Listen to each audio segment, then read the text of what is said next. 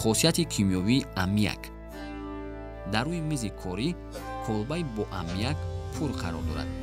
Ба колбае ки пур аз аммиак аст оксиди хром шаши тафсонро метаконем дар сатҳи болои оксиди хром шаш реаксияи пуршиддати каталитикии оксидшавии аммиак бо оксигени ҳаво ба амал меояд ва дар дохили колба чарх мезананд заррачаҳои оксиди хром се то ранги сурх тафсон гардида дар намуди алангаи шамол намуддор мешавад